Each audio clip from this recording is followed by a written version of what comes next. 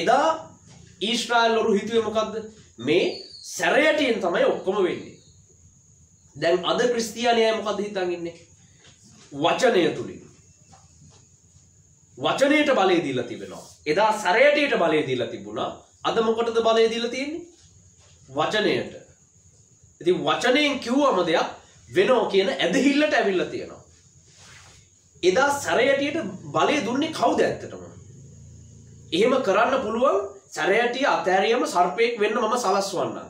සැරයටිය දිගු කරාම මුහුද දෙබෑ වෙන සලස්වන්නම්. මං ඒක කරන්නම් කියලා කිව්වේ කවුද? දෙවියන් වහන්සේම තමයි මේ බලය ඒ තුලින්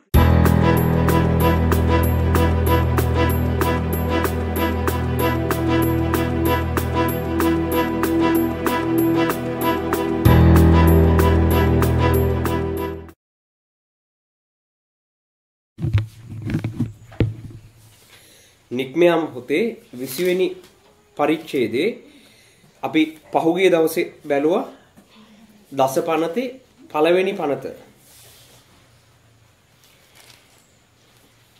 මොකද්ද පළවෙනි පනත?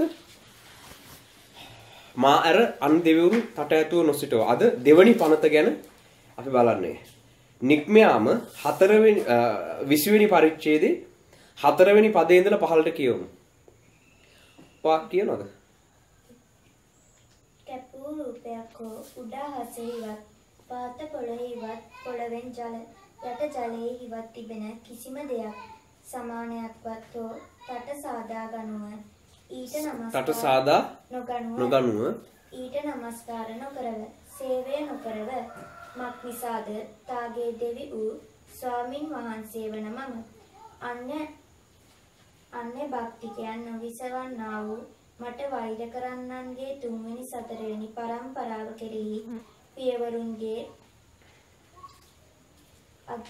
අධර්මිෂ්ඨකම ගැන අධර්මිෂ්ඨකම ගැන දරුවන්ට ප්‍රතිඵල දෙන්නා වූ මට ප්‍රේම කරමින් මාගේ ආඥා පවත්වන්න උන්ගේ පැවතෙන දහස් ගණන් පරම්පරා දක්වා දයාව පෙන්වන්නා වූ දෙවි කෙනෙක්ය. හරි. දෙවනි පනත තමයි මොකක්ද කැපූ රූපයක් හෝ උඩ අහසෙහිවත් පාත පොළොවෙහිවත් පොළොවෙන් යට ජලයෙහිවත් කි- තිබෙන කිසිම දෙයක සමානත්වයක් හෝ තට සාදා නොගනිව.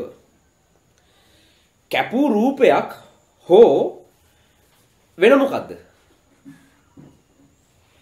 රූප කපපුවා රූප ඇඳපුවා ඒ රූප හෝ තව එකක් කියනවා. මොකද්ද?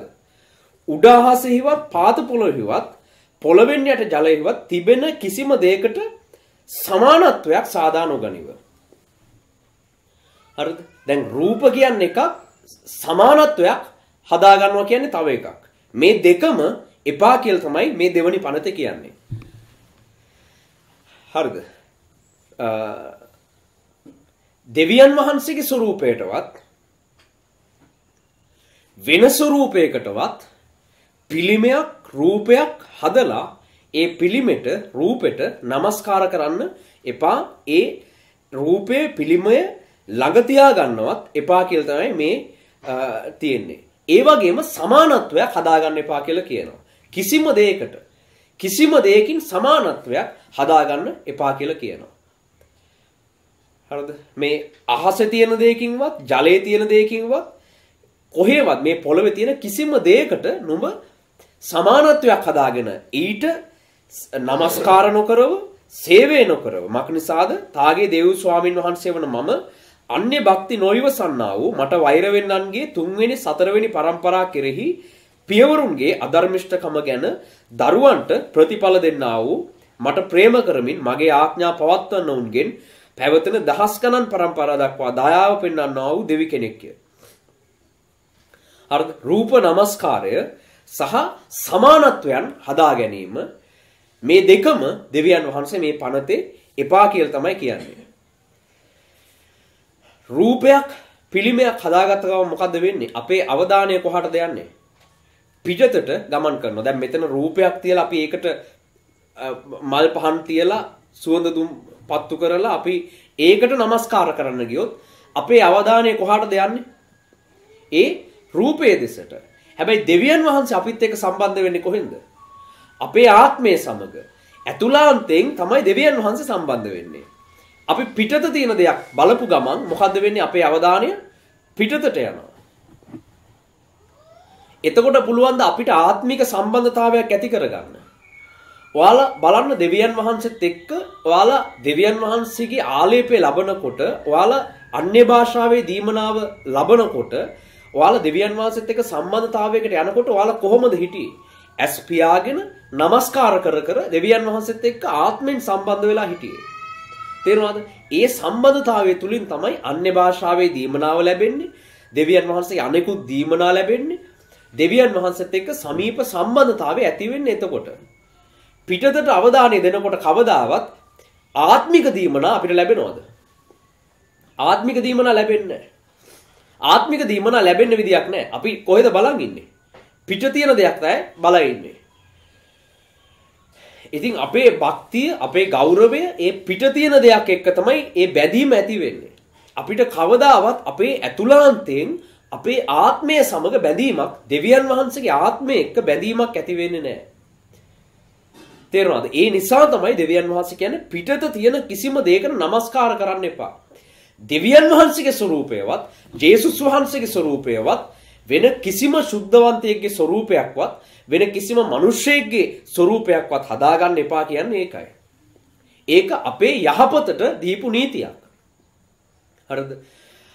සමහර විට নমස්කාර කරන එක මේ පිළිම හදන එක අපිට પરම්පරාවෙන් ආව වෙන්න පුළුවන්. ඒ වුණාට මේ නීතිය පැවැත්වුවොත් තමයි දෙවියන් වහන්සේත් එක්ක ආත්මික සම්බන්ධතාවයට ඇතුල් වෙලා ඇතුල් වෙන්න පුළුවන්කම තියෙන්නේ. මේක දස පනත දෙවණියට දෙවියන් වහන්සේ දීපු එක. මේක ඊටාම වැදගත්. මේක කැඩුනොත් ඊළඟ පනත් අට ඔයාලා පවත්වල වැඩක් නැහැ. එතනින් එහාට ඔයාලට කරගන්න බෑ. ඊළඟ පනත් පවත්වන්න බලය ලැබෙන්නේ කොහෙන්ද? ආත්මික සම්බන්ධතාවය තුලින්. හරිද? දැන් ඊළඟට පනත් තියෙන එක එක ඒවා. ඒ පනත් අපිට අපේ ශක්තියෙන් කරන්න බෑ. ඒකට අපි දෙවියන් වහන්සේගේ ආත්මයේ බලය ලබන්න ඕන. දැන් ආත්මයේ බලය ලබන්න විදියක් නැහැ. අපේ අවධානය පිටතට ගියොත්. තේරුණාද? ආත්මික බලය ලබන්න නම් ආත්මික දීමනාවන් අත්කර ගන්න නම් අපි ඇතුළාන්තයෙන් සම්බන්ධතාවයට පිවිසෙන්න අවශ්‍යයි. දැන් විවිධ ක්‍රමවලින් මේ දෙවනි පනත කැඩිලා තියෙනවා. සියලු සභාවන් වල මේ දෙවනි පනත කැඩෙනවා එයාලා නොහිතන ක්‍රමවලින්. කතෝලික සභාවෙත් මේක කැඩිලා තියෙනවා. ක්‍රිස්තියානි සභාවන් වලත් මේ පනත කැඩෙමින් පැවතෙනවා. ඒ වගේම එදා ඊශ්‍රායල්වරු තුලත් මේ දෙවනි පනත කැඩුනා. ඒක කඩපු නිසා තමයි එයාලා කොහො දෙවියන් වහන්සේ කොහොමත් එයාලට මේ දෙවනි පනත ලබා දුන්නේ. මෙතනින් එහාට මේව කරන්න බෑ කියලා ඒ පනත දුන්නේ ඒක නිසා. තේරෙනවද? සමානත්වයක් හදාගන්න බෑ. දැන් අපි දෙවියන් වහන්සේගේ බලය පැමිණෙන්නේ යම් දෙයක් තුලින් කියලා අපි හිතුවොත්. දැන් රතු මුහුද දෙබෑ කරේ මොකෙන්ද? රතු මුහුද දෙසට මොකද්ද දිගු කරේ? මෝසෙස්ගේ සැරයටිය දිගු කළා. එතකොට මෝසෙස්ගේ සැරයටිය දිගු කරාම තමයි රතු මුහුද දෙබෑ වුනේ. එතකොට ඊශ්‍රායලුරු දැක්කා මේ මෝසෙස්ගේ සැරයටියේ තමයි මේ බලය තියෙන්නේ. එයාලට එහෙම හිතනවා ඒක ස්වභාවික දෙයක්. මෝසෙස්ටත් එහෙම තමයි හිතුනේ මුල් කාලේ. දෙවියන් වහන්සේ කියද්දි මෙයාලට මේ පර්වතයෙන් වතුර ලබා දෙන්න කියලා දෙවියන් වහන්සේ කියන ඔයා ගිහිල්ලා මේ පර්වතයට කතා කරන්න. හැබැයි මෝසෙස් ගිහිල්ලා මොකද්ද කරන්නේ? කතා කරාද? පර්වතයට කතා කරේ නෑ ආයසරයක් ගිහිල්ලා දෙවියන් වහන්සේ කිව්වේ කතා කරන්න කියලා. හැබැයි මෝසස් ගිහිල්ලා ආයි මොකෙන්ද ගැහුවේ? සැරයටියෙන්. එයාටත් විශ්වාසය තිබුණේ මොකක් ගැනද? සැරයටිය ගැන තමයි විශ්වාසය තිබුණේ. දැන් මොකද්ද ඒ හදාගෙන තිබුණේ මොකද්ද? ඒ සමානත්වයක් හදාගෙන තිබුණේ. හැබැයි දෙවියන් වහන්සේම තමයි ඒක දුන්නේ. අපේ ඇදහිල්ල ශක්තිමත් වෙන තුරු සහ අපිට දෙවියන් වහන්සේව එකසැරේ නොපෙනෙන නිසා මෝසෙස්ටත් දෙවියන් වහන්සේ ගැන දෙවියන් වහන්සේගේ බලය ගැන එකසැරේ තේරුමක් නැති වුණාම දෙවියන් වහන්සේ මොකද්ද කරන්නේ යම් මාධ්‍යයක් තුලින් එයාලට දෙවියන් වහන්සේගේ බලය පෙන්වන තැනට ක්‍රියා කරනවා. ඉතින් මෝසෙස් අහනවා මම දැන් පාරාව ගාවට යන්නම් කියන විදියට. හැබැයි එතෙන්ට ගිහිල්ලා එයාලා ඇහුවොත් මේ කොහොමද වා මේක ඔප්පු කරලා පෙන්වන්නේ කියලා මට කරගන්න දෙයක් නැති වෙනවා. දෙවියන් වහන්සේ මේක කිව්වා කියලා මම කිව්වට එයාලා මේක පිළිගන්න එකක් නෑ. එතකොට මම මොනවද කරන්නේ? එතකොට දෙවියන් වහන්සේ කියනවා නුඹේ සැරයටි එතන අතහරින්න. අතහැරියම් මොකද වෙන්නේ? සර්පෙක් වෙනවා. ආයෙත් ඒකේ පිටිපස්සෙන් අල්ලගත්තම ඒ සරයටිය නැවත තිබුණු තත්වයට එනවා. මේ ලකුණ ඉස්සෙල්ලම පෙන්වන්න කියලා කිව්වා. ඊළඟට මොකද්ද කිව්වේ? ඒක පිළිගන්නෙත් නැත්නම් නයිල් නදියට ගිහිල්ලා සැරයටියෙන් පහර දෙන්න. එතකොට නයිල් නදියේ තියෙන ජලය ලේ වෙනවා. සැරයටිය තමයි දෙවියන් වහන්සේ මෝසස්ට දුන්නේ. සැරයටියෙන් තමයි එයා දාන වැඩ ඔක්කොම දැම්මේ. හරිද? අර මැඩියන්ව ගෙන්නුවෙත් සැරයටියෙන් ගහලා. වතුර දුන්නෙත් සැරයටියෙන් ගහලා. රතු මුහුද අන්තිමට දෙබෑ කරෙත් සැරයටියෙන් ගහලා. රතු මුහුද මැදින් අර සෙනග එද්දී ආයසරයක් රතු මුහුද යථා තත්ත්වයට පැත් කරෙත් කොහමද? ඒ විදිහටම තමයි. එතකොට එයාගේ විශ්වාසය සහ ඊශ්‍රායලුන්ගේ විශ්වාසය ඒ කාලේ සැරයටියත් එක්ක තමයි තිබ්බේ. හරිද? දැන් ඒක දෙවියන් වහන්සේම තමයි කිව්වේ. හැබැයි එතනින් එහාට දෙවියන් වහන්සේ ඊළඟට මෝසෙස්ව සැරයටියත් එක්ක සෙල්ලම් කර කර ඉන්නම තිබ්බේ නෑ. ඊළඟට හරි. දැන් ඔන්න රතු මුහුදක් දෙබෑ කරගෙන ආවා. දැන් නුඹ දවස් 40ක් මා වෙතට සීනාය කන්දට පැමිණෙන්න අවශ්‍යයි. හරිද? මෝසෙස් ගියා සීනායි කන්දට. එතනදී දෙවියන් වහන්සේම සීනායි කන්දේ දවස් 40 බැගින් කීප අවස්ථාවක් හිටිය කියලා බයිබලයේ කියනවා. ඒ අවස්ථාවන් වල මෝසෙස් දෙවියන් වහන්සේව මුහුණට මුහුණ කතා කරා කියලා කියනවා. තේරවාද? එතනින් එහාට මෝසෙස්ගේ ඇදහිල්ල සැරයටියත් එක්ක නෙමෙයි තියෙන්නේ. එයා කාවද අඳුරගත්තේ?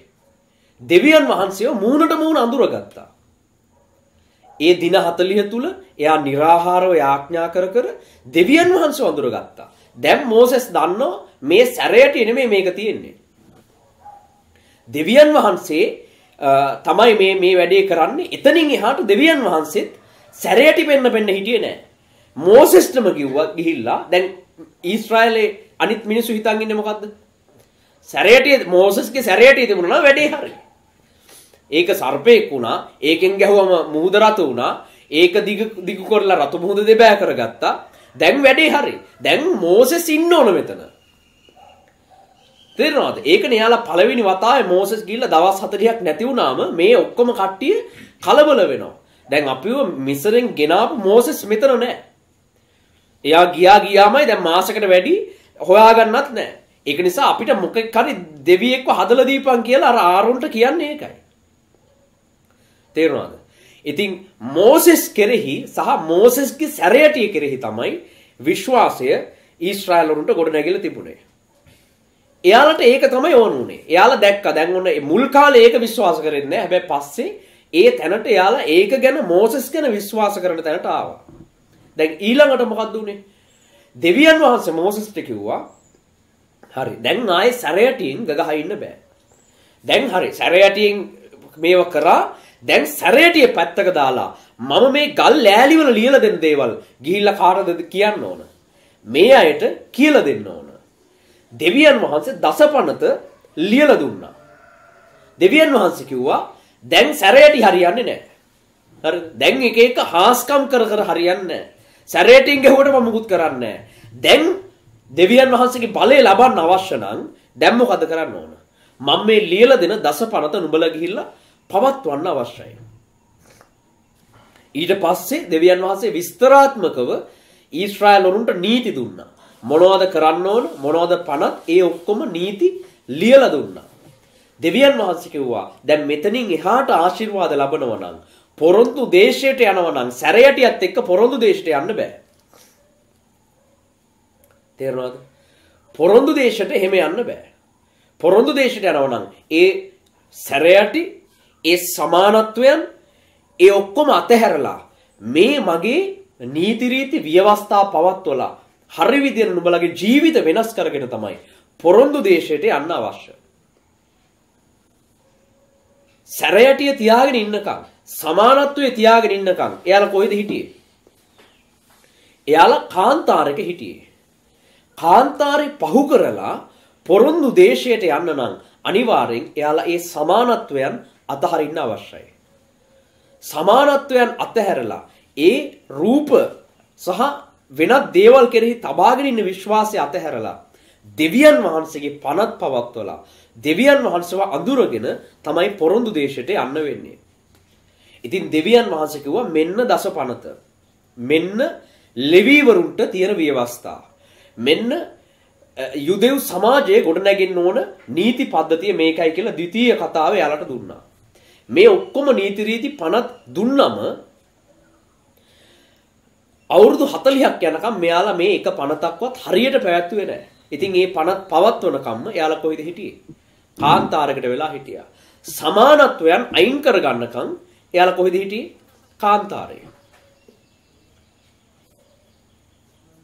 වර්තමානයේදී වුණත් ක්‍රිස්තියානි සභාවේ පවා මේ සමානත්වයන් තියාගෙන ඉන්නවා නම් ඔවුන් අතරමැදට ගත්ත දේවල් කෙරෙහි විශ්වාස කරගෙන ඉන්නවා නම් එයාලා තව කොහෙද ඉන්නේ? කාන්තාරකේ ඉන්නේ. පොරොන්දු දේශයට යන්න නම් සමානත්වයන් අතහැරලා මැදට අරගත්ත රූප නමස්කාර අතහැරලා අතරමැද තියාගෙන ඉන්න සමානකම් ඉවත් කරලා දෙවියන් වහන්සේගේ ව්‍යවස්ථාපවත්වල තමයි තමන්ගේ ජීවිත පරිවර්තනය කරගෙන දෙවියන් වහන්සේ වඳුරගෙන තමයි පොරොන්දු දේශයට යන්න වෙන්නේ. එදා ඊශ්‍රායල්වරු හිතුවේ මොකද්ද? මේ සැරයටියෙන් තමයි ඔක්කොම වෙන්නේ. දැන් අද ක්‍රිස්තියානියයි මොකද්ද හිතන් ඉන්නේ? වචනය තුලින්. වචනයට බලය දීලා තිබෙනවා. එදා සැරයටියට බලය දීලා තිබුණා. අද මොකටද බලය දීලා තියෙන්නේ? වචනයට. ඉතින් වචනයෙන් කිව්වම දෙයක් වෙනෝ කියන ඇදහිල්ලට ඇවිල්ලා තියෙනවා. එදා සැරයටියට බලය දුන්නේ කවුද ඇත්තටම? එහෙම කරන්න පුළුවන් සැරයටිය අතෑරියම සර්පෙක් වෙන්න මම සලස්වන්නම්. සැරයටිය දිගු කරාම මුහුද දෙබෑවෙන සලස්වන්නම්. මං ඒක කරන්නම් කියලා කිව්වේ කවුද? දෙවියන් වහන්සේම තමයි මේ බලය ඒ තුලින් ක්‍රියා කරවන්න සැලැස්සුවේ. ඒක හරි. දෙවියන් වහන්සේ සැරයටිය තුලින් ඒ හාස්කම් කළා. දැන් වචනය තුලින් දෙවියන් වහන්සේ හාස්කම් කරලා තියෙනවා. සමහරුන් සමග දෙවියන් වහන්සේගේ වචනය තුලින් සහ ඒ දෙවියන් වහන්සේ කැඳවපු සේවකයන් දාසයන් කතා කරන වචන දෙවියන් වහන්සේ ඉෂ්ට වෙන්න සලස්වනවා. කවුද ඒක සලස්වන්නේ? දෙවියන් වහන්සේ තමයි සලස්වන්නේ. දැන් මම ඔයාලට කියපු සමහර දේවල් ඔයාලගේ ජීවිතවල අනාගතේ මේ දේ වෙනවා මෙන්න මේ මේ විදිහට තමයි සිද්ධ වෙන්නේ කිව්වම ඒ කියන දේ දෙවියන් වහන්සේ ඔයාලගේ ජීවිතේ වෙන්න සැලැස්සුවා. තේරෙනවද? ඒක වෙන්න සලස්වනවා දෙවියන් වහන්සේ. දැන් ඒකට බලය දුන්නේ කවුද කොහොමද? දෙවියන් වහන්සේ තමයි දුන්නේ. ඒ වෙලාවේ දෙවියන් වහන්සේ ඒක භාවිතා කළා. ඔයාලා මෙන්න මේ දේ නිවැරදි කරගත්තම මේ ආශිර්වාදය ලැබෙනවා කියලා මම ඔයාලට කිව්වම ඔයාලා ඒක කරාම ඔයාලට මේ ආශිර්වාදය ලැබුණා. හරිද? මම දැන් ඔයාලා වෙනුවෙන් යාඥා කරන්නම් ඔයාලට තියෙන මේ අසුද්ධ ආත්මය වෙනුවෙන් මම යාඥා කරලා ඒක පහ කරන්නම් කියලා කිව්වම දැන් කෙනෙක්ට ඒ විදිහට යාඥා කරා මේ අසුද්ධ ආත්මය පහ වුණා. හැබැයි එවෙලි ඒ තුලින් ක්‍රියා කරන්න දෙවියන් වහන්සේ අවසර දීලා තිබුණා බලය දීලා තිබුණා. හැබැයි මම හිතුවොත් දැන් මං කියන කියන එක වෙනවා කියලා. මං හිතුවොත්. හරි දැන් ඔන්න මගේ වචනෙට බලය ඇවිල්ලා තියෙන්නේ. හරි දැන් මම කියන කියන දේ වෙනවා. දැන් මම කියන හැම එකක්ම වෙනවා. ඒක නිසා දැන් ඔන්න මට එකක් දෙකක් වෙනකොට මං හිතනවා හරි දැන් ඔන්න හරි දැන් ඔක්කොම හරි. දැන් ඔන්න මට ඇවිල්ලා තියෙනවා. මම කියන දෙයට මගේ කටට බලය ඇවිල්ලා තියෙන්නේ. හරිද? මම ඔහොම හිතුවම මොකද්ද වෙන්නේ? මෝසස් මොකද හිතුවේ? ඊශ්‍රායල් වල මොකද වැඩේ හරි වැඩේ ගොඩ දැන් ඕන නියම භාණ්ඩයක් හම්බෙලා තියෙන්නේ මොකද්ද? මනුස්සයටියක් සෙට් වෙලා තියෙනවා අපිට. ආයි මේක තියෙනවා නම් කිසි ප්‍රශ්නයක් නැහැ. සැරයටිය ඒ හම්බුණා. අපිට දැන් ඔන්න කිසි බයක් නැහැ. ඇයි? සැරයටි හම්බෙලා තියෙන්නේ. හරිද? සැරයටිය තියෙනවා මේකෙන් ගැහුව ගැහුව තැන ලේ වෙනවා. මේකෙන් ගැහුව පර්වතෙන් වතුර එනවා. මේක දික් කරාම මුහුද දෙබෑ වෙනවා. නියමයි ෂෝ. පට්ට සැරයටියක් සෙට් වෙලා තියෙනවා. ඉතින් ඔක්කොම කට්ටියට හරි සන්තෝෂයි. සැරයටියක් හම්බෙලා. දැන් මම හිතුවොත් මං කියන කියන එක වෙනවා. මම කිව්වා සුව වෙන්න කියලා ඔන්න සුව වුණා. මම කිව්වා අශුද්ධාත්මයට දුරු වෙන්න කියලා. නියමයි අශුද්ධාත්මේ දුරු වුණා. මං කිව්වා මේ මාසේ මේක වෙනවා. ඔන්න වුණා. හරි සතුටුයි. දැන් මට සතුටුයි ඔයාලට සතුටුයි. හැමෝම සතුටෙන් ඉන්නවා. හරි සන්තෝෂයි. ඉතින් මම මම කල්පනා කරන නියමයි. දැන් මම කියන දේ වෙනවා. මගේ කටට මොකද ලැබිලා තියෙන්නේ? බලය ලැබිලා තියෙනවා. මගේ මං කියන වචනවලට බලය ඇවිල්ලා තියෙනවා. දැන් සෙල්ලන්නේ දැන් මං සෙල්ලන්නේ දැන් මට බලය ඇවිල්ලා තියෙන්නේ කියලා මම හිතුවොත් මොකද්ද වෙන්නේ? එදා මෝසෙස් ඕක තමයි හිතා හිටියේ. එදා ඊශ්‍රායල් රෝග තමයි හිතන් හිටියේ. එයාට සැරයටිය පේන්නේ නැති වෙනකොට ඔන්න ආයි බය වෙනවා. දෙවියන් වහන්සේ කිව්වා හරි සැරයටියෙන් කරා. දැන් ඒක ඉවරයි. දැන් හැමදේම සැරයටිය වනවන ඉඳලා සර්කස් කාරයෝ වගේ ඕක හරියන්නේ නැහැ. සැරයටිය කරක කරකෝ ඉන්න එක නෙමෙයි. උඹලාට දැන් සැරයටිය කරකවන එක නෙමෙයි මම මේ කියා දෙන්නේ.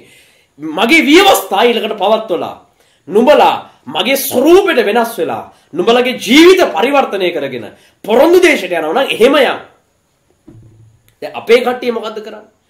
අපේ කට්ටිය අර අතරමැදට දුන්න සමානත්වය සැරයට අල්ලගෙන ඕක කරකෝ කරකෝ ඉන්නවා. ඉතින් හැමෝම හරි සන්තෝෂෙන් කියන දැන් ඔන්න දෙවියන් වහන්සේ වචනෙට බලය දීලා තියෙන්නේ. වචනෙට දෙවියන් වහන්සේ බලය දීලා තියෙන්නේ. වචනෙන් තමයි ඔක්කොම වෙන්නේ. වචනෙන් ඔක්කොම වෙන්නේ. සැම්සන්ට මොකකටද බලය දුන්නේ? හරක් අඟකට. තේරෙනවද? සැම්සන් 1000කට එක සැරේ ගැහුවේ හරකෙක්ගේ අඟකින්. සැම්සන් වටපිට වෙන උට ආයුධ මුකුත් නැහැ. මොකද්ද කරන්න කියලා කල්පනා කරගෙන ඉතියා තනියම ගහන්නත් බෑ, අතින් ගහන්නත් බෑ. දෙවියන් වහන්සේ ඔය හරක් අඟක් තියෙනවා. ගනි මං ඔකට බලය දෙන්නම්. ඉතින් මැරිච්ච හරකෙක්ගේ අර ශරීරයේ මස් ටික දිය වෙලා ගිහිල්ලා ඇට කට්ටක් තිබුණා බිම වැටිලා. සැම්සන් එන ගමන් ඔන්න ඔය හරක් අඟ ඒ මේ මේ පරණ වෙලා දිරලා ගියපු ඒ හරක් අඟ අතේ අරගෙන ආවා. දෙවියන් වහන්සේ කිව්වා මම ඕකට බලය දෙන්නම් කියලා. ඉතින් ඒකට බලය ලැබුණා. හරක් අඟෙන් ගහලා පිලිස්සියරු 1000ක් එක දවසේ මැරුවා. මොකේටද බලය තියෙන්නේ? හරක් අඟට. හැබැයි ඇත්තටම සැම්සන් සමහර මෝඩ වැඩ කරා. හැබැයි අපේ කට්ටිය තරම් මෝඩ නෑ. සැම්සන් 18 ගහලා හරක්කක විසික් කරලා ආවේ. ඊට පස්සේ හරක්කක ළඟ පල්ලේ ගහගෙන හිටියේ නෑ. එයා එක වීසි කරලා ඇවිල්ලා ඊළඟ වතාවේ එයා වෙන ක්‍රමයකට ගැව්වේ. ඊළඟ වතාවේ නරි ටිකක් සෙට් කරගෙන නරින්ගේ වලිගවල ලනු ගැට ගහලා ඕ මොකද සෙල්ලමක් දැම්ම කියලා තියෙනවා. ඒකේ අර ලොකු පිලිස්ති විශාල ගම්මානයක් වගා බිමක් එයා විනාශ කළා මේ ක්‍රමයට. ඒ වෙලාවේ දෙවියන් වහන්සේ ඒකට අවසර දීලා තිබ්බා. හැබැයි අපේ කට්ටිය මොකද්ද කරන්නේ? අපේ කට්ටිය ලැබිච්ච එක ගැන සන්තෝෂෙන් ඒක සෙල්ලම් කර කර ඒකත් එක්ක සෙල්ලම් කරනවා දැන්. හරි මට ලැබිලා තියෙන්නේ නියමයි. දැන් මේක නැති කරගන්න බෑ. ඔන්න මට දැන් ඇවිල්ලා තියෙන්නේ. දැන් මේ ආපු එක නැති කරගන්න බෑ. මට දැන් කොහොමත් ඇවිල්ලා තියෙන්නේ. හරි දැන් මං කියන එක වෙනවා. හරිද? ඒ දෙවියන් වහන්සේ අවසර දීලා තියෙනවා. ඇත්තටම ඒ ඒ කැඳවපු දාසයන්ට ඒක ඒ ආලේපය දෙවියන් වහන්සේ දෙනවා. සමහර අවස්ථාවල කියනවා. ඔයා දැන් මේකෙන් වැඩ කරන්න. හරි. මේ තුලින් මම ක්‍රියා කරනවා. මම මේ ඔයා බ්ලෙස් කරන තෙල් එකෙන් වැඩ කරනවා. හරිද? ඔයා ආශිර්වාද කරලා දුන්නම මේ තෙල් බෝතලයක් මේ තෙල් ටිකක් ආලේ ආශිර්වාද කරලා දුන්නම ඔයා කිව්වොත් මේ තෙල් ගෑවම ඔළුවේ කැක්කුම ඔයාගේ තියෙන අසනීපේ මේ අශුද්ධාත්මේ දුර වෙනවා කියලා කිව්වොත් ඇත්තට මේ තෙල් ගෑවම මේ අශුද්ධාත්ම දුර වෙනවා. දැන් මං හිතුවොත් හැමදාම මේකෙන් තමයි වෙන්නේ කියලා වැඩි.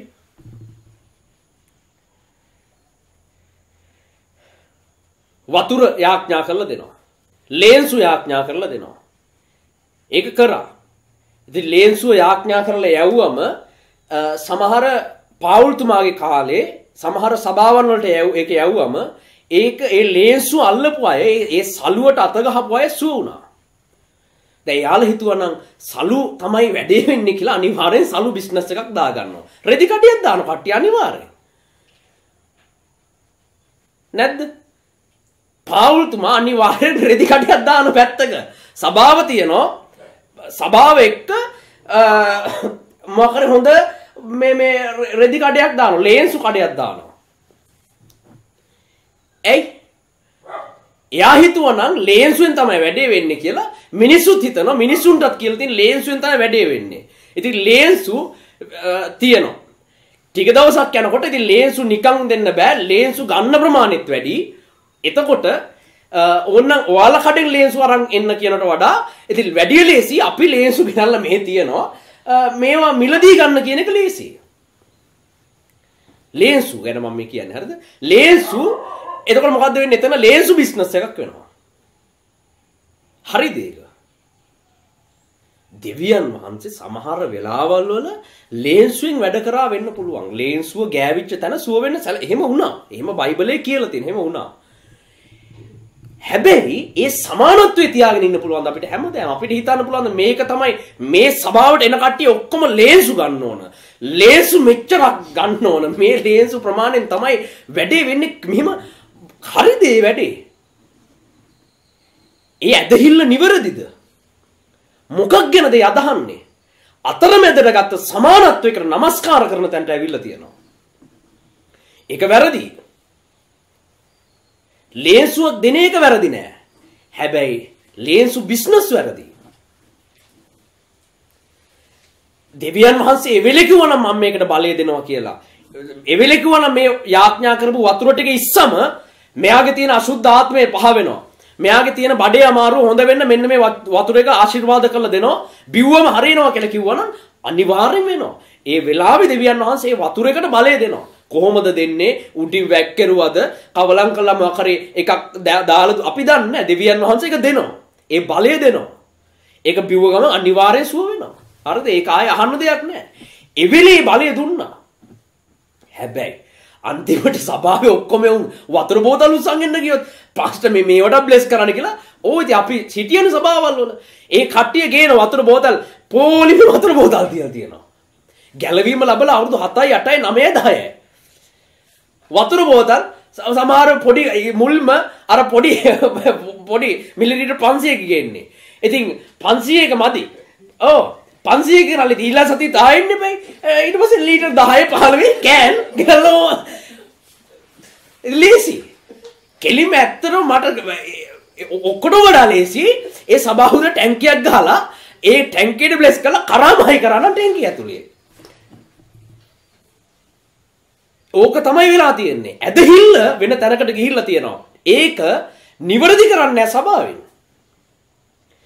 අවුරුදු 10යි ගැලවීම ලබලා. දැන් මූට දෙන්න ඕන වතුර බ්ලෙස් කරලා. අවුරුදු 7යි 8යි ගැලවීම ලබලා. ඔන්න මොකරි ඔළුව අමාරුවක් කියනකොට දැන් එයාට දෙන්න ඕනද තෙල් තෙල් බ්ලෙස් කරලා? ගැලවීම ලබලා අවුරුදු 7ක් විතර.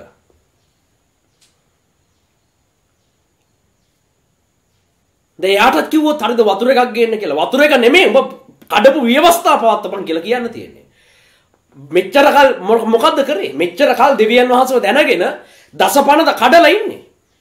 තැන් තැන්වල කේලම් කියකේ තැන් තැන්වල වෙන වෙන දේවල් කර කර ඉඳලා තැන් තැන්වල වැරදි දේවල් කර කර ඉඳලා අන්තිමට පාස්ට මේ මේ මේ මෙව්වා වුණා මේ බිස්නස් කඩ වැටෙනකම පාස්ට දැන් මම කිව්වොත් කඩවරු බිස්නස් ඒ මිනිහ ගැලීම ලබල අවුරුදු 10ක් විතර. දැන් මම ආයෙ කියනවා එහෙනම් බිස්නස් කරුණා ගේන්නකො හොඳ වතුර බෝතලයක් හොඳ එකක් ගේන්නකො කියලා මම ඒකට මොන මෝඩ වැඩක්ද මම කරන්න කියලා හිතන්නකො එතකොට.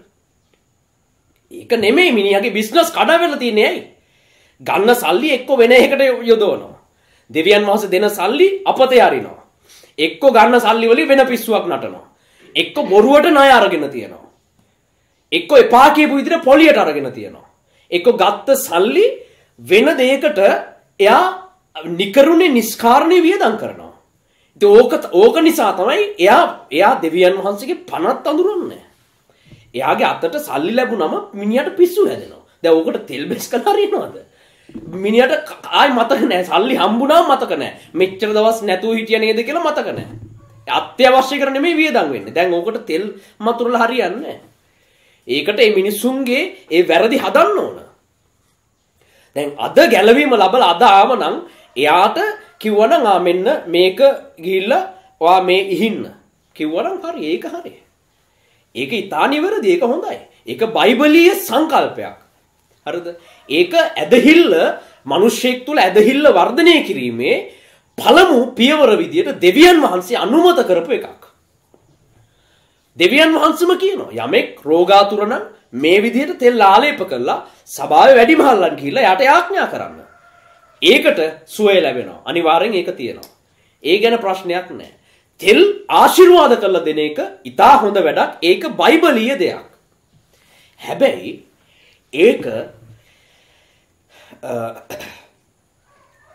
කෙරෙහි ඒ සමානත්වයට නමස්කාර කරන තැනට සභාවපත් වුණොත් අන්තිමට පාස්ටත් ඒකට නමස්කාර කරන තැනට ඇවිල්ලා තියෙන්නේ.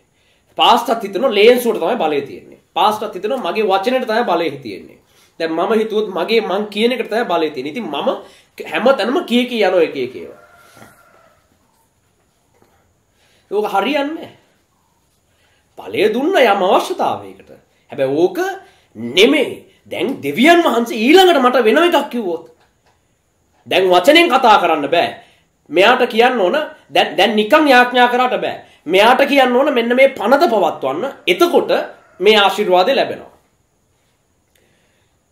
දැන් ඒක කිව්වොත් මං කොච්චර කෑ ගහගෙන වචනෙන් යාඥා කර කර හිටියත් ඒක එතන සිද්ධ වෙන්නේ නැහැ. එයා කියපු පනත පවත්වන්නම අවශ්‍යයි. ක්‍රියාව කරන්න අවශ්‍යයි. හරිද? ඉතින් මෙන්න මේ සමානත්වයන් සභාව තුළට ඇවිල්ලා තියෙනවා. හරිද? දැන් කතෝලික සභාවේ නමස්කාරය තියෙනවා. ඒක එකක් හැබැයි ක්‍රිස්තියානි සභාවේ දැන් අපේ කට්ටිය මෙන්න මේ විදිහට වරද්දගෙන ඉන්නවා. හරිද? මේ සමානත්වයන් ආපු ගමන් මේ අතරමැද දේවල් වලට নমස්කාර කරපු ගමන් මොකද වෙන්නේ? දෙවියන් වහන්සේගේ ස්වરૂපය අපිට ලැබෙන එක නතර වෙනවා. ස්වરૂපය ලැබෙන්නේ ස්වરૂපය කොහේ ලැබෙන්නද? අපි අන්තිමට හිතනවා අපේ වචන වලට තමයි බලය තියෙන්නේ. අපි අපි දැන් ඔන්න පොරවල් වෙලා තියෙන්නේ. අපි ලේසි නෑ. හරිද? සාතනේ තුලින් එයාව වැටෙන්න තියෙන පහළම තැනට වටනවා. සාතන්ගේ ස්වરૂපය එයාට දෙනවා. සාතන්ගේ ස්වરૂපය මොකද්ද? මම තමයි කෙනා. මම කිව්වොත් හරිය. මම තමයි දෙවියන් වහන්සේ ආලේප කරපු කෙනා. මම තමයි කරන්නේ. මම කිව්වොත් හරිය. හරිද? මම මං කිව්වනම් ආයේ වැඩේ වෙලා ඇති. මේ තැනට දේව සේවකයන් පත් වෙනවා. හරිද? අපිත් මේ වැරදි දේවල් මත ගොඩ නැගුණොත් අපිත් මෙන්න මේ තැනට පත් වෙනවා. පාවුල්තුමාට මිනිස්සු নমස්කාර කරන්න ගියාම පාවුල්තුමා තමන්ගේ ඇඳුම් ඉරාගෙන එයාලා ඉදිරියේ වැටිලා කිව්වා අපි නුඹලට සමානයි. පාවුල්තුමා කියන්නේ කවුද? හිටපු ප්‍රධානම ප්‍රේරිතවරයෙක්. එයා තමයි ආසියාවෙන් භාගයකට භාගයට මේ සුභාරංචිය දුන්නේ. තේරෙනවද? එයා එයා ඇවිල්ලා බොහෝ මල උන්නුත්තානය කරපු කෙනෙක්. මිනිස්සු බලන් ඉඳිදි මල උන්නුත්තානය කළා. ඇත්තම මැරිච්ච මිනිස්සු උත්තානය කරා පාවුල්තුමා.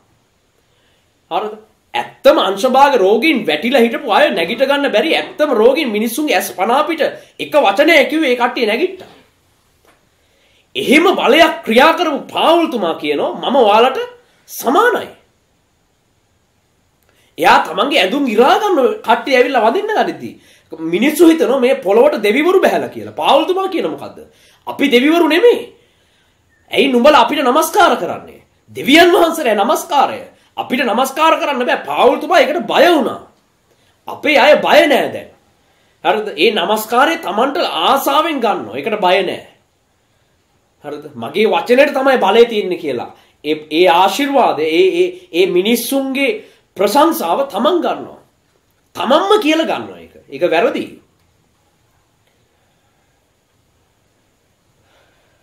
බලන්න බයිබලේ ඉන්න අනාගත වක්තෘවරු කොච්චර යටහත් පහක්ද? එයාලා කොයිතරම් දෙවියන් වහන්සේට බයෙන් ක්‍රියා කළාද? එයාලා කවදාවත් කිව්වද? මම මගේ දේ තමයි මම තමයි පොර කියලා කිව්වද කවුරු හරි? ඒක කිව්ව ගමන් මේ අලුතෙන් පුහුණු වෙන අයට මම මේ කියන්නේ. දැන් මේක අහන ලෝකේ අනිත් තැන්වල ඉන්න අයත් මේ සියලු දෙනාට දෙවියන් වහන්සේට සේවය කරන සියලු දෙනාට මම මේ කියන්නේ. ඔබ දැන් අනිත් කට්ටිය දිහා බලාගෙන වැඩ කරන්න යන්න එපා. මම මේ වගේ වෙනවා කියලා හිතන්න එපා. හරිද? වා ජේසුස් වහන්සේ වගේ වෙන්න තමයි තීරණය කරන්න ඕන. ඔයාලා හැම කෙනෙක්ම ඔයාලත් මේ තැනට ආවොත් ඔයාලා වැටෙනවා. ඔයාලා උඩගුණොත් වැටෙනවා. සාතන් උඩඟු වෙලා වැටුණා. හැබැයි මහිමය තාම සාතන්ගෙන් අයින් කරලා නැහැ. හරිද? සාතන්ගෙන් මහිමය අයින් කරේ නැත්තම් ඔයාලා උඩගුණා කියලා ඔයාලගෙන් එක සැරේ මහිමය අයින් කරන්නේත් නැහැ. ඉන්නකම් බලයත් ක්‍රියා කරයි. හැබැයි දෙවියන් වහන්සේ ඔයාගේ හදවත දන්නවා. ඔයාගේ හිත දන්නවා. ඔයා පොඩි දෙයකට උඩඟු වුණා. ඔයා මේ එක මේ කොන්දේ අමාරුවක් හොඳ කරලා උඩඟු වුණා. ඔයා පොඩි සුවකිරීමක් කරලා ඔයාගේ කටට බලය තියෙනවා කියලා ඔයා උඩඟු වුණා. හරිද? ඔයා අතරමැද සමානත්වයක් ගත්තා. ඒක වැරදි. ඔයා හිතුවා මේ දේෙන් තමයි මේක උනේ. ඒ දේට බලය දෙවියන් වහන්සේ වෙල දුන්නා. හැබැයි පස්සේ ඕන්නම් ඒක නැති කළා දාන්නත් දෙවියන් වහන්සේට පුළුවන්. දෙවියන් වහන්සේ වචනෙට බලය දෙනව සමහර වෙලාවල් වලදී. ඒ වගේම වචනෙට දුන්න බලය නැති කළා දාන්නත් දෙවියන් වහන්සේට පුළුවන්. ඉතින් කෑ ගහන මේක වෙනවා මෙහෙම වෙනවා මෙහෙම වෙන්නේ නැහැ. ඉතින් අන්තිමට දෙවියන් වහන්සේ වචනේ අපි කියන දෙයට දුන්න බලය නැති කරොත් අපි කොච්චර කෑ ගහුවත් වෙයිද? අපිට කියන්න පුළුවන් නෑ එහෙම කොහොමද අපේ වචනට බලය දුන්නානේ දැන් ආයි දෙන්න කියන්න පුළුවන්ද? එහෙම බෑ. දෙවියන් වහන්සේ අයින් කරා නම් ආයි හම්බෙන්නේ නැහැ. එක එක යුගයන් වලදී දෙවියන් වහන්සේ විවිධ මාධ්‍යයන් තුලින් ක්‍රියා කළා. වර්තමානයේ මිනිස්සුන්ට කෙවිටවල් රිටවල් දීලා වැඩක් නැහැ. එහෙම සංස්කෘතියක් නෙමෙයිනේ දැන් තියෙන්නේ. දැන් දැනුම පදනම් කරගත්ත ඔන්න ඔය වගේ සමාජ ක්‍රමයක් තමයි තියෙන්නේ. ඉතින් එදා ඊශ්‍රායලරුන්ට තිබුණේ එඬේරුන්ගේ සත්ව පාලන සමාජයක්. ඉතින් එයාලට වැඩිපුර දකින්න ලැබුණේ හැසිරෙව්වේ එයාලා මොකද්ද? කැලේ ඉද්දි දේශනා කර කර ඉන්නේ නැහනේ. හරිද කතා කර කර මේ බණ කිය කිය උගන් උගන් ඉන්නේ නැහැ. එයාලා සත්තු හසුරවන්නේ. එයාලා නිහඬව ඒ කෙවිටෙන් තමයි ඒ සැරයටියෙන් තමයි හැමදේම කරන්නේ. තේරුණාද? ඉතින් ඒ වෙලේ තිබුණ දේට දෙවියන් වහන්සේ එයාලට බලය දුන්නා. හරිද? ඒ වෙලේ තිබුණු දේට. ඒ වෙලේ ප්‍රධාන දෙයක් ඒක. ඉතින් වර්තමානයේ ඇවිල්ලා මේ ඉගැන්වීම් තුලින් අපි ඉගෙන ගන්නවා. දේශනා අහනවා මේ වර්තමාන සමාජයේ ඇවිල්ලා දැනුම මත පදනම් වුණ එකක්. ඉතින් දැන් ඔන්න මේ කාලේ ඒ වචනයට දෙවියන් වහන්සේ දීලා තියෙනවා. දැන් කවුරු හරි මේ රිටක් වනවනාවොත් කවුරුවත් එයාව ගණන් ගන්නෑ. හැබැයි වචනේ තුලින් දෙයක් කතා කරගෙන ආවොත් එයාට සවන් දෙනවා. දැන් දැනුවත් සමාජයකට මේ යුගය ඇවිල්ලා තියෙනවා. ඉතින් මේ යුගයේ හැටියට දෙවියන් වහන්සේ මාධ්‍ය වෙනස් කරලා තියෙනවා.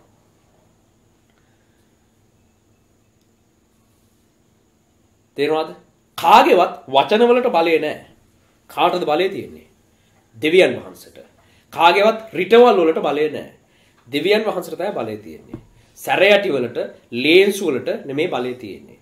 දෙවියන් වහන්සේටයි බලය තියෙන්නේ. දෙවියන් වහන්සේට ඕනනම් ලේන්සු වලට බලය දෙන්නත් පුළුවන්. දෙවියන් වහන්සේට ඕනනම් වචනෙට බලය දෙන්නත් පුළුවන්. දෙවියන් වහන්සේට ඕනනම් තෙල් වලට බලය දෙන්නත් පුළුවන්. තේරෙනවද? තෙල් වල වතුරවල ලේන්සුවල ඇති ගුණයක් නැහැ. හරිද? ඒවයි තියෙන මේදය. ශරීරයට අවශ්‍ය කරන මේදය තියෙනවා. ඒකේ තියෙනවා. ඒ ඒවයි තියෙන ಗುಣ වෙනම තියෙනවා. බලය තියෙන දෙවියන් වහන්සේ ගාව.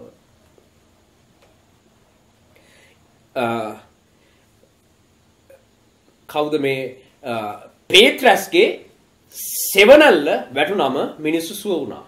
හරිද? ඉතින් සෙවනල්ලට දෙවියන් වහන්සේ සෙවනල්ල වැටෙන තැන ඉන්න මිනිස්සෙක් වුණත් සුව වෙන්න දෙවියන් වහන්සේ ඒ කාලේ සෙවනල්ලට බලය දීලා තිබ්බා.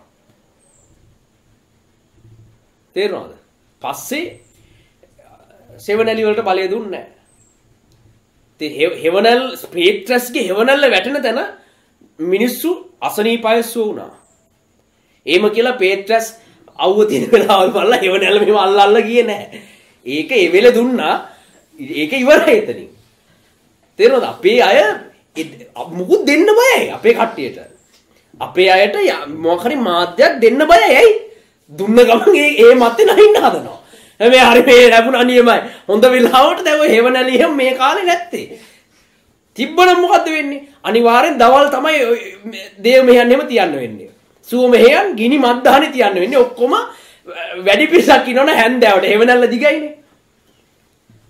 ඉතින් දිග හෙවණැලි හද හද යන්න ඕනේ හෙවණැල්ලෙන් කට්ටිය මෙහෙම ඇල මේ වරේ මේ කියලා හෙවණැල්ලට සෙට් කරගන්න කට්ටිය. වෙනති වැඩ නැතුවට හොඳයි.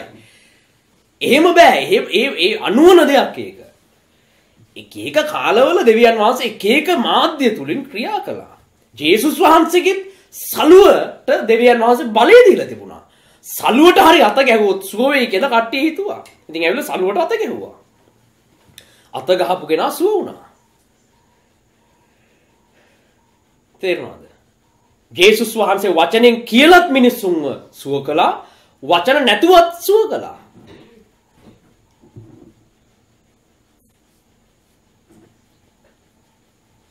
දෙවියන් වහන්සේට මාධ්‍ය අවශ්‍ය නැහැ. ඕනනම් මාධ්‍යයකට බලය දෙන්න පුළුවන්. මේ අතරමැදට ආපු දේවල් නිසා මෙන්න මේ දෙවනි පනත කැඩිලා තියෙනවා. මොකක්ද දෙවනි පනත? කැපූ රූප තියාගන්නත් බෑ. ඒ වගේම කිසිම දෙයකට සමානත්වයක් හදාගන්නත් බෑ. මේ පනත කැඩිලා තියෙනවා. දැන් අපි කතෝලික සභාවරනේ කියන්නේ එයාලා රූප නමස්කාර කරනවා කියලා. හැබැයි ක්‍රිස්තියානි සභාවෙම මේ එක එක මාධ්‍යයන් හදාගන්න ගිහිල්ලා දෙවනි පනත එයාලා කඩාගෙන ඉන්නේ. කතෝලික සභාව කොහොමත් ඒක කඩලා තියෙන්නේ. එයාලා රූප නමස්කාරය කරනවා. එයාලා කෙලින්ම රූප හදාගෙන ඉන්නවා. එයාලා මේ කරන දේ තුලින් එයාලගේ ආත්මික වර්ධනය එතනම අඩාල වෙලා තියෙනවා. එයාලට ස්වර්ගික බලය නෑ දැන්. තේරුණාද? එයාලට අන්‍ය භාෂාවේ දීමනාව ලැබිලා නෑ, ලැබෙන්නේ නෑ. ලබාගත සමහර අයත් ඉන්නවා. හරිද? එයාලා ලබාගත්තේ කොහොමද? පිළිමයක් දිහා බලාගෙන ඉඳලාද කියලාත් කතෝලික සභාවේ ඉන්න අය ගිහිල්ලා එයාලත් එක්ක සාකච්ඡා කරන්න අවශ්‍යයි. හරිද? දෙවියන් වහන්සේගේ දීමනා එයාලට නැති වෙලා තියෙනවා. ඇයි? දීමනා ලැබෙන්නේ කොහෙන්ද? ආත්මයට. මෙහෙම මෙහෙම ගන්න බෑ. මේ පිළිමෙන් මෙහෙට දීමනා ගන්න බෑ. කොහෙන්ද දීමනා ලැබෙන්නේ? අපි ඇස් පියාගෙන ආත්මයෙන් දෙවියන් වහන්සේත් එක්ක සම්බන්ධ වෙද්දී දෙවියන් වහන්සේගේ දීමනා අපේ තුල ඇවිලෙන්න ක්‍රියා කරන්න පටන් ගන්නවා. ඇස් ඇරගෙන අපි පිටත තියෙන දෙයක් බලන් හිටපු ගමන් අපේ අවධානය පිටතට යොමු වෙනවා. ඉතින් පිටත තියෙන පිළිමයකට මේ තමයි ජේසු මේ තමයි මෙයා මේ තමයි අරයා කියලා ඕකට වැඳගෙන හිටියට ඇතුලාන්ත පරිවර්තනයක් වෙන්නේ නැහැ. කවුරුවත් එහෙම කරේ නැහැ. කතෝලික සභාවේ හිටපු කවුරුත් පූජකවරු එහෙම කරේ නැහැ මුල් අවදියේ. කතෝලික සභාවේ තමයි පේත්‍රස් හිටියේ. කතෝලික සභාවේ තමයි යොහාන් යාකෝබ් ඔය ඔක්කොම ගෝලෙ හිටියේ. කතෝලික සභාවේ තමයි පාවුල්තුමත් හිටියේ. ඔක්කොම කතෝලික තමයි. හැබැයි පාවුල්තුමා රූප නමස්කාර කරෙත් නෑ. පේත්‍රස් රූප නමස්කාර කරෙත් නෑ. යොහාන් යාකෝබ් රූප නමස්කාර කරෙත් නෑ. කතෝලික සභාවේ මුල් අත්තිවාරම් දාපු කිසි කෙනෙක් රූප නමස්කාරය කරේ නෑ. හැබැයි පස්සේ ආපු කට්ටිය රූප නමස්කාර කරා. අරගොල්ලොන්ට තිබිච්ච ආත්මික බලය මෙයාලට නැති වුණා. ස්වර්ගික බලය දැන් එයාලට නෑ. දැන් එයාලට තේරෙන්නේ නැහැ ස්වර්ගික බලය ලබා ගන්න කොහොමද කියලා. දැන් එයාලා කොහෙන්ද බලය ගන්න හදන්නේ? එයාලා දැන් දේශපාලන බලය තමයි ගන්න හදන්නේ. එයාලට මේක ගන්න බෑ ගන්න තේරෙන්නේ කොහෙ ගන්න බෑනේ ඉතින් මෙහි වෙන එකක් දිහා බලලා ඉඳලා ස්වර්ගික එකක් එයි ඒක කොහෙන්ද එන්නේ ආත්මය දෙවියන් වහන්සේ ආත්මයක් කිය. උන්වහන්සේ ආත්මයෙන් සහ සැබෑකමෙන් নমස්කාර කරන්න අවශ්‍යයි. තේරුණාද? දෙවනි පනත යාලා එතනම උල්ලංඝනය කරලා තියෙනවා. ආත්මයෙන් ඇතුළතින් ගොඩනැගෙන සම්බන්ධතාවය එයාලට නැති වෙලා ඒ ආත්මය තුලින් ගලාගෙන එන ජීවනය දෙවියන් වහන්සේගේ ආලේපය දෙවියන් වහන්සේගේ සියලු දීමනා එයාලා අඳුරන්නේවත් නැති තැනට පත් වෙලා තියෙනවා. ඒ නිසා එයාලා ලෝකයේ බලය හොයාගෙන යනවා. එයාලට දේශපාලන බලය අවශ්‍යයි. එයාලට දේශපාලන පිළිගැනීමක් අවශ්‍යයි. එයාලට රටේ මිනිස්සුන්ගේ ගෞරවය එයාලට අවශ්‍යයි. හරිද? එයාලට දේශපාලනික රජයේ අනුග්‍රහය කතෝලික සභාවට අවශ්‍යයි. ඒක නැතුව එයාලට පවතින්න බෑ. ඒක නිසා කරුණාකරලා ඒ කතෝලික සභාවට ඒ ගෞරවය දෙන්න. හරි කතෝලික සභාවට ඒ දේශපාලනික අනුග්‍රහය එයාලට ලබා දෙන්න. ඒක හොඳයි. කතෝලික සභාවට රාජ්‍ය අනුග්‍රහය අත්‍යවශ්‍යයි. රාජ්‍ය අනුග්‍රහය නැති වුණොත් කතෝලික සභාව කඩන් වැටෙනවා. පවතින්නේ දවස් දෙක තුනක්වත් පවතින්නේ හොඳ වෙලාවට රජය කතෝලික සභාවට උදව් කරන්නේ. ඒක නැති වෙච්ච ගමන් එයාලගේ රාජ්‍ය කඩ වැටෙනවා. එයාලගේ පල්ලි පිටින් කඩ වැටෙනවා. ඒ නිසා නිකන් එයාලගේ පැවැත්ම උදෙසා ඒ රාජ්‍ය අනුග්‍රහය ඔවුන්ට ලැබුණාවේ. හරිද? එතකොට එයාලගේ පැවැත්ම උදෙසා මිනිස්සුන්ගේ ගෞරවය ඔවුන්ට ලැබුණාවේ. තේරෙනවද? ඔවුන්ගේ මේ යැපීම් උදෙසා මිනිස්යන්ගේ උපකාර ඔවුන්ට ලැබී මිනිස්යන් මතින් ඔවුන් ගමන් කරපු දෙන්න. හරිද? ඒක හොඳයි. ඒක නැත්තම් ඒක කඩා වැටෙන අපරාධේ. හැබැයි දැන් දෙවියන් වහන්සේත් එක්ක ආත්මිකව සම්බන්ධ වුණු සභාවන් දෙවියන් වහන්සේ එක්ක ආත්මිකව සම්බන්ධ වුණු පුද්ගලයන් දැන් ඔබත් ගිහිල්ලා ආයෙ ගිහිල්ලා ඒක මේ පිටිපස්සෙන් ගිහිල්ලා ඒක දිහා බලලා ඉන්න එපා. රාජ්‍ය අනුග්‍රහය ලබන්නයි, පාර්ලිමේන්තුවේ අනුග්‍රහය ලබන්නයි, මිනිස්සුන්ගේ උදව් ගන්නයි අපේ උනුත් ගිහිල්ලා ඒක පිටිපස්සෙන් බලාගෙන නා අපිටත් අපිටත් අපිටත් දෙන්න අපිටත් දෙන්න. අපිට ඕනේ නැහැ ඒක. අපිට කවුද බලය දෙන්නේ? දෙවියන් වහන්සේ. හරිද?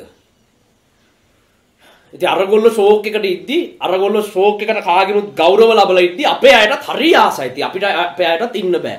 අනේ අපිටත් තිබ්බනම් කියලා අපේ උනුත් ගිහිල්ලා ඒක අස්සේ ගිහිල්ලා ඒක ඒ එයාලත් එක මූට්ටු වෙලා ඒක ගන්න හදනවා. අපේ කට්ටිය ඒක පස්සේ යන්න එපා. දැන් අපේ අය දන්නවනේ දෙවියන් වහන්සේ. දෙවියන් වහන්සේත් එක්ක සම්බන්ධ වෙන විදිය දන්නවනේ. ආත්මික බලය ගැන අඳුරන්න ඕනේ. ස්වර්ගික බලය ලබා ගන්න විදිය දන්න ඕනේ. දැන් ස්වර්ගික බලය ලබා ගන්න. හරිද? වෙන දේශපාලන බලය වැඩක් නැහැ. එයාලත් එක්ක ගිහිල්ලා හේතු වෙලා වැඩක් නැහැ. එයාලා ගිහිල්ලා හේතු වෙලා ඉවරයි. දැන් අපේ අය දෙවියන් වහන්සේත් එක්ක සම්බන්ධ වෙලා දෙවියන් වහන්සේගෙන් බලය ලබන්න. ලෝකෙන් ලැජ්ජ වෙයි. ලෝකෙ කට්ටිය ලෝකෙ අනින් මිනිස්සු ඔබව ගණන් ගන්න එකක් නැහැ. හැබැයි ඒ ලෝකේ ගෞරවය, ලෝකේ වරප්‍රසාද ලෝකයෙන් ලැබෙන රාජ්‍ය අනුග්‍රහය ඔබට ලැබෙන්නේ නැති වෙන්න පුළුවන්. ඒ වුණාට දෙවියන් වහන්සේගේ අනුග්‍රහය ඔබ මතට උන්වහන්සේ ලබා දෙනවා. තේරුණාද? රූප නමස්කාරයේ සමග සමානත්වයන් සාදා ගැනීම සමග දෙවියන් වහන්සේගේ දෙවන පනත සියලු ස්ථානවල බිඳ වැටිලා තිබෙනවා. දැන් ඒක බිඳ වැටුනම එතනින් එහාට තියෙන අනිත් කිසිම පනතක් ඔවුන්ට පවත්ව ගන්න බෑ. මේ සමග දෙවියන් වහන්සේ ඔවුන්ට දෙන ස්වර්ගික දීමනා ආශිර්වාද සියල්ල ඔවුන් අහිමි කරගෙන ඉන්නවා. දැන් තම තමන්ට ඕන විදිහට දෙවියන් වහන්සේව නමස්කාර කරන්නත් බෑ. තම තමන්ට ඕන විදිහට රූප හදාගෙන නෑ අපේ සභාව මෙහෙම තමයි ඒම බෑ. එහෙම කරවතින් දෙවියන් වහන්සේ යාලට දඬුවම් කරනවා. ඒක මේ පනතෙම ලියලා තියෙනවා. හරිද? නෑ අපේ පරම්පරාව වා වා කියන එක අපි අහන්නේ නෑ. එහෙම එහෙම කොහොමද? අපි අපි අපේ සභාවේ වචනෙට තමයි බලය තියෙන්නේ. ඔයාට මොකෝ? ඔයා කියන එක අපි අහන්නේ නෑ. ඉතින් අහන්න තු ඉන්න. මට මොකෝ? දෙවියන් වහන්සේ එතනම ලියලා තියෙනවා. මේ පනත් කැඩුවොත් එයාට එන දඬුවම. මොකද්ද කියන්නේ? තුන්වෙනි හතරවෙනි පරම්පරාව දක්වා දෙවියන් වහන්සේ මට වෛර වෙන්නන්ගේ තුන්වෙනි සතරවෙනි පරම්පරාව කෙරෙහි පියවරුන්ගේ අධර්මිෂ්ඨකම ගැන දරුවන්ට ප්‍රතිඵල දෙන්නා වූ දෙවියන් වහන්සේ මමයි කියලා දෙවියන් වහන්සේ කියනවා. දැන් අපේ પરම්පරාවෙන් ඇවිල්ලා තියෙන මේ රූප වඳින්න ඔයා මේ පුදුම එකක් කියන්නේ අපි එහෙම බෑ අපිට මේක වඳින්නම වෙනවා අපි ඒකට ආසයි ආසනම් වඳින්න. ආසනම් වැඳ වැඳ දෙවියන් වහන්සේගේ ආශිර්වාද නෙමෙයි ශාපයක් තමයි ලැබෙන්නේ. මේක කියන්නේ. දඬුවමක් ලැබෙන්නේ. ආස ආස දේවල් කරන්න බෑ දෙවියන් වහන්සේත් එක්ක.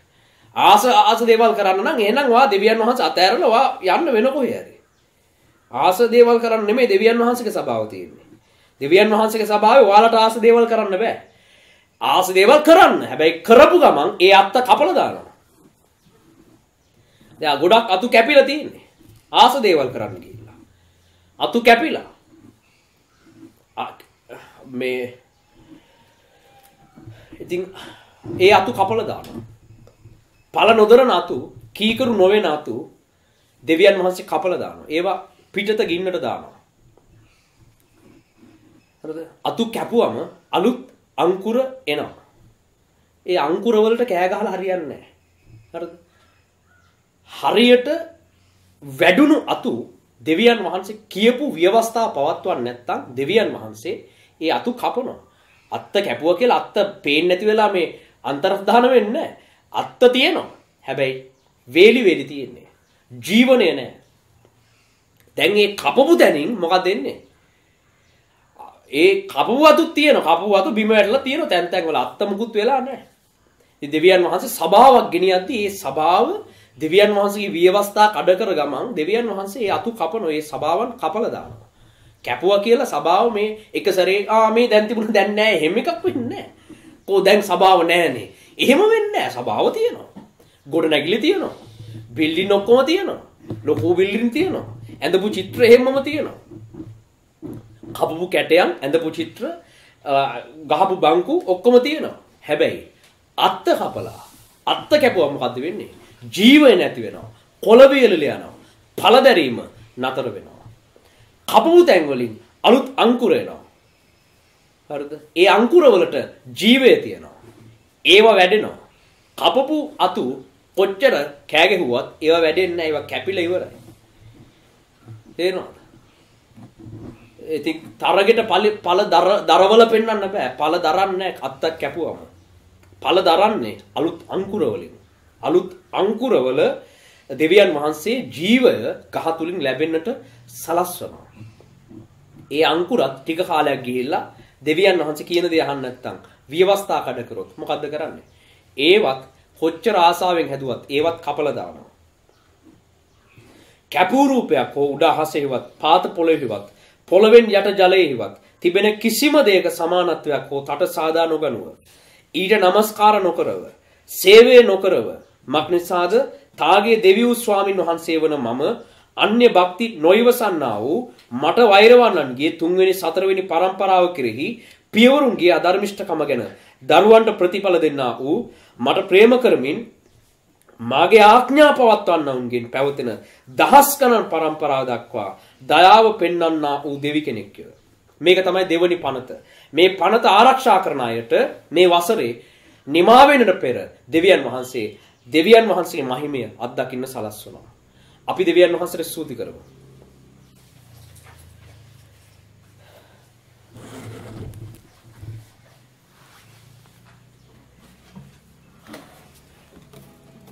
ඔබට ස්තුති වේවා ස්වාමීන් වහන්සේ. Hallelujah hallelujah. ඔබ අතරමැදට අරගෙන ඉන්න අනිත් සියලු දේවල් මේ වෙලාව ඉවත් කරලා දෙවියන් වහන්සේ වෙනුවෙන් කැප වෙන්න.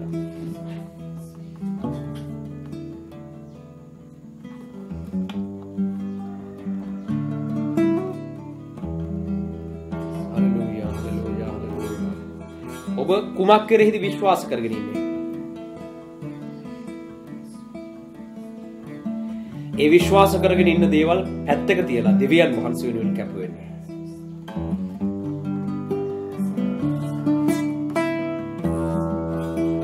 අනිත් කිසිවකට බලයක් නැහැ. අනිත් දේවල් මැවිල්ලක් විතරයි. බලය තිබෙන්න දෙවියන් වහන්සේට. මිනිස්යන්ට බලයක් නැහැ. මිනිස්යන් වාජනයක් කියලා දෙවියන් වහන්සේ කියන්නේ. ඒ වාජනයට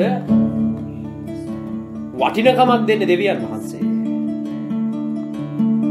හලලූයා ඔබට නමස්කාර වේවා දෙවියන් වහන්සේ. අපි හිස් වාජන අපි පස් සහ දූවිලි වලින් හැදිච්ච මිනිස්සුන් අපේ මොකද්ද තියෙන වටිනකම? අනිත් අයට වඩා තියෙන වටිනකම මොකද්ද අපේ? අපිට නෙමේ බලය තිබෙන්නේ. දෙවියන් වහන්සේටයි. අපි වරද්දනවා නම් දෙවියන් වහන්සේ ඊළඟ කෙනාව කැඳවනවා. යුගයෙන් යුගයට දෙවියන් වහන්සේ ක්‍රියා කරන මාධ්‍ය උන්වහන්සේ වෙනස් කරනවා.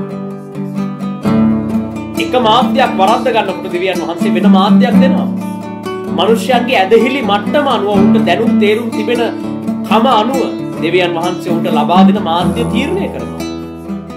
ඒ මාධ්‍යයක් පමණක් බව වටහා ගන්න අවශ්‍යයි. වචනයට නොවේ බලය තියෙන්නේ දෙවියන් වහන්සේට. දෙවියන් වහන්සේට ඕනනම් වචනයට බලය දෙන්න පුළුවන්. ඕනනම් නොදෙන්නත් පුළුවන්. අතරමැද තබාගෙන ඉන්න රූප පිළිම নমස්කාර සමානත්වයන් ඉවත්කොට දෙවියන් වහන්සේට විවෘත වන්න. මේ අතරමැද දේවල් නිසා දෙවියන් වහන්සේ ඔබෙන් වැසිලා දිවෙන්නේ. ඔබ අතරමැද තබාගත් දේවල් නිසා දෙවියන් වහන්සේගේ මහිමය ඔබට වැහිලා තිබෙනවා. ඔබ අතරමැද තියාගෙන ඉන්න සමහර මාත්‍යයන් නිසා දෙවියන් වහන්සේගේ ස්වරූපය උන්වහන්සේගේ මුහුණ ඔබට වැහිලා උන්වහන්සේගේ නියම ස්වරූපය ඔබට වැහිලා තිබෙනවා. ඔබ හිතනවා මෙන්න මේ වගේ දෙවියන් වහන්සේ. ඔබ හිතනවා මේ විදිහයි මෙන්න මෙච්චරයි මේ තරමයි දෙවියන් වහන්සේ. උන්වහන්සේ මේ වචන වලින් ක්‍රියා කරන්නේ. ඒ ඇදහිලි කඩන්න. ඔබ ඒව කඩා දමලා ඒ තිර ඉරලා දාන්න. ඇතුළාන්තයේ දෙවියන් වහන්සේගේ සැබෑ ස්වරූපය අත්දකින්න.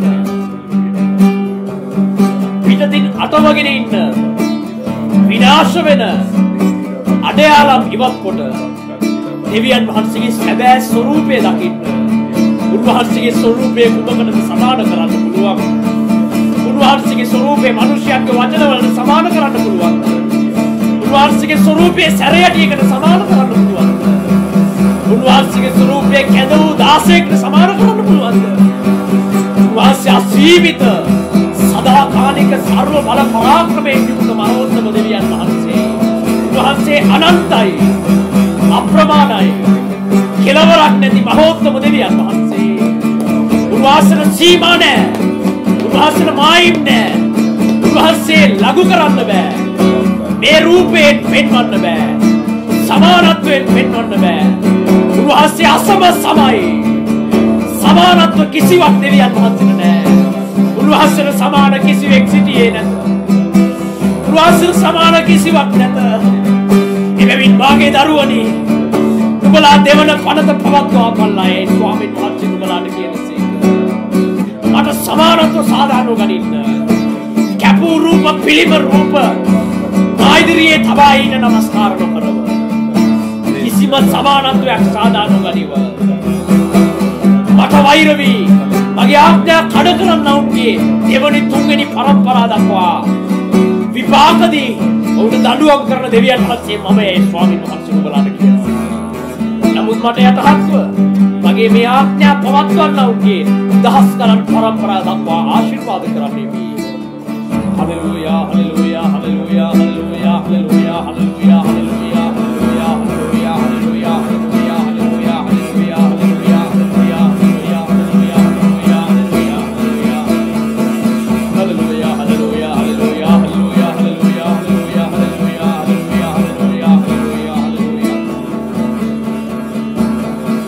නුඹලා වතුරට වැටි පරාවර්තනය වන ඡායාවන් බලබල සිටින්නේ මක් නිසාදයි ස්වාමීන් වහන්සේ අසනවා.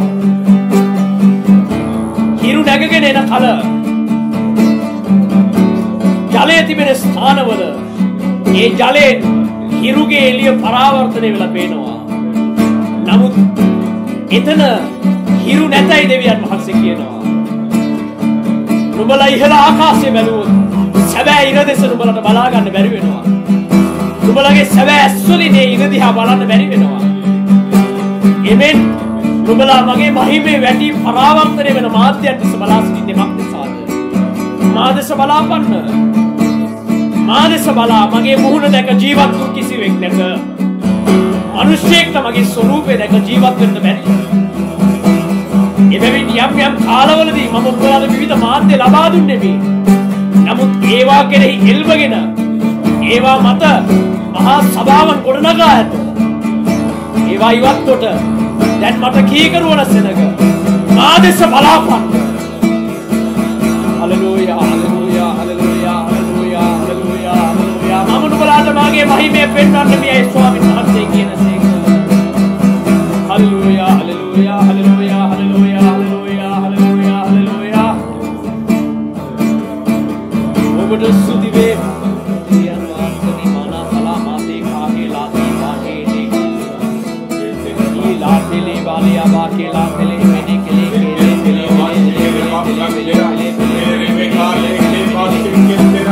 ඉබහලේ ඉබහලේ ඉබහලේ ඉබහලේ මගේ මහිමය බලාපන්න. අතර මැදි ඇති සියලු සමානත්වය නිවන් කරපන්න. මම නුඹ මෙච්චර කල් දුටු ආශිර්වාද වලට වඩා විශාල මහිමයක් මම ඔබට පෙන්වන්නේ මේ. නුඹ විශ්වාස කරගෙන ඉන්න අතරමැදි දේවල් නිසා. දැමූ සැනින් වීඩියෝ නැරඹීමට අපේ චැනල් එක සබස්ක්‍රයිබ් කරන්න. මීට පෙර සහ මීළඟ වැඩසටහන් නැරඹීමට තිරේ දිස්වන වීඩියෝ ක්ලික් කරන්න. ඒ වගේම මේ අනිත් අය සමග ෂෙයා කරන්න අමතක කරන්න එපා. ඔබ සැමට ජේසු පිහිටයි.